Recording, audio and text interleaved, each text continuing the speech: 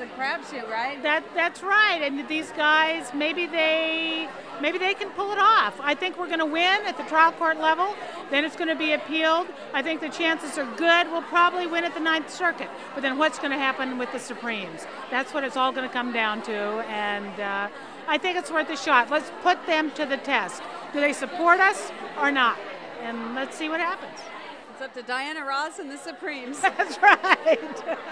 but you, you, know, it made me this whole state thing is really important. But it, it's really it is. It should be a federal marriage. I mean, that's a real marriage for the country. I mean, that's right. It took us from 1948 to the 1970s or to 1960, 48 to 68 for interracial marriage to be legalized nationwide. I think we're going to make it for same-sex marriage faster.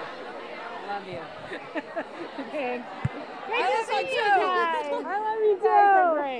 Great I to see